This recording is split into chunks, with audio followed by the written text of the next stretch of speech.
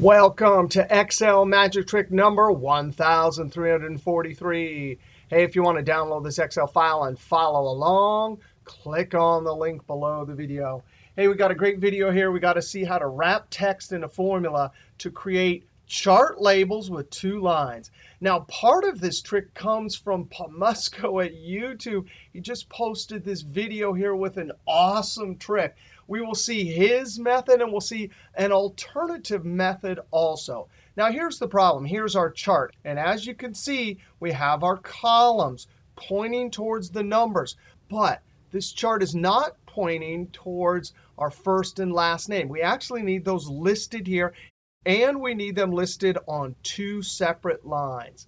Now, the first problem is how do you join first and last name? Well, we could use flash fill, which is an awesome feature, but I'm going to use a formula.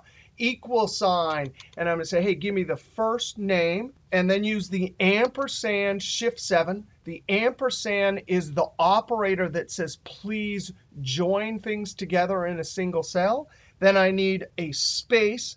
And since space is text, you have to put text in double quotes. Then I use ampersand and get the last name.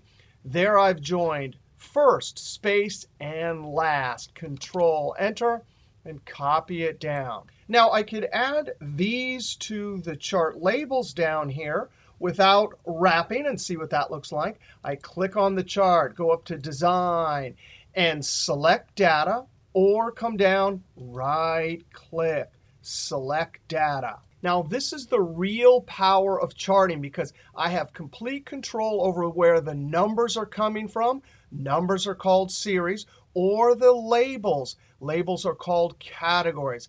There's my Edit button. Click Edit. And now I can simply highlight these, click OK, click OK. Now, we have our labels here, but that doesn't answer the problem of how to wrap these two names, one on each line. Now, I'm going to show you method number one. And this one requires that you know something about ASCII characters. Now, I want first name, and then I want to join it to. But what I really want to join it to is to a line return. Well, we can use the character function which allows us to insert any ASCII character into a formula. But the problem with this is you have to know what number it is. Now, line return happens to be ASCII character number 10. So character 10, even though that's a function, it actually puts that character into our formula. And then I use ampersand and last. Now, when I control enter, it's not going to look like a line return character 10 is a non-printing character. So it looks like it's not there, but, but it is. And when we right-click, select data, edit, and now point chart labels to these, even though visually on the spreadsheet we can't see it, the chart totally understands. Click OK, click OK. Now, we could go ahead and see it visually in the spreadsheet by going to Home and over to Wrap Text. Now, here's the trick that pmsocho showed. Now, before we look at his trick, let's just see if we can do this manually. P-I-O-T-R and the keyboard for line return, ASCII character number 10 is Alt enter.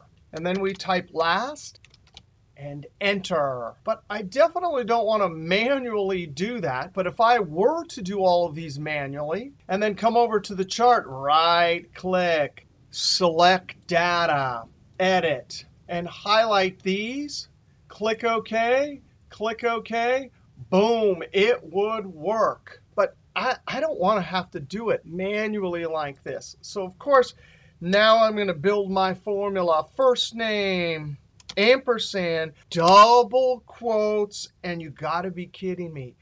Alt, Enter, and double quotes, ampersand, and then last name.